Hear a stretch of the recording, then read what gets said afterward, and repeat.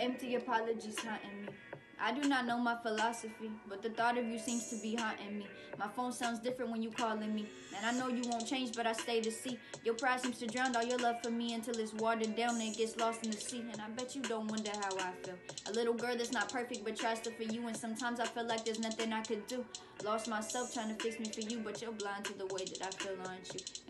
And talk if I stopped out the blue, I started acting the way you always do. It's like when I speak all my words on mute, so I push it all under the rug. And I smile to keep us in love, and I know this won't change you, but maybe it does. Maybe you'll see it from my point of view. It seems we have different views of how love is acting, what lovers do, and it's even more sad because you have no clue. Baby, you were not the one for me. I know you know. Maybe it's just time we call it quits. I go,